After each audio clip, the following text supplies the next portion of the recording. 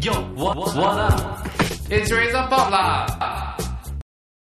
哎，鸭子水面打跟斗嘞，黑溜溜咯，打着水面起高落嘞。Recognize this ringing tune?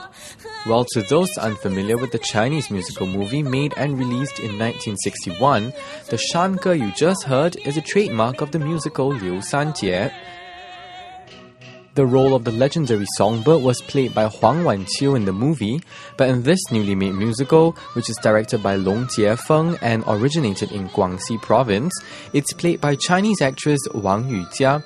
The story revolves around the character Liu Sanjie, who's a poor but very witty and beautiful peasant girl with a voice like a lark. While trying to escape from the tyrants who are after her beauty, she encounters Li Xiaoniu, a fisherman's son. Li Xiaoniu is played by Ma Dinghe in this musical.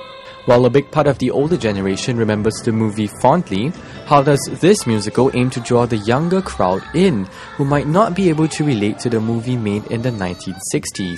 Razor TV caught up with both leads of the musical, Huang Yujia and Ma Dinghe, to find out more. 那我们有做新的改动，比如说我们加入了新的元素，比如说踢踏舞，还有踢踏舞和我们呃广西壮族的呃少数民族呃 具有的独特的特点来编的一个叫怎么说，就叫民族拉丁舞，应该是这么讲哈，民族踢踏舞类型。刘三姐会穿上现在很多呃年轻女孩子喜欢穿的迷你小短裙，还有蓬蓬裙，还有那个露背装。那这样子可以呃与时代接轨，还有我们的舞蹈动作也有一些新的改动。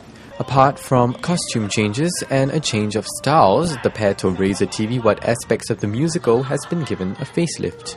先这两个剧目的形式是不同的，一个是实景的山水演出，呃，以山水来为做背景的一个舞台。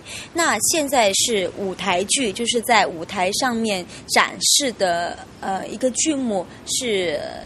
非常不同的，首先这是一点。那我们会在那个我们导演会呃，比如说在情感的处理上，就是说以前是可能斗争土地比较多吧，然后斗斗争那个财主。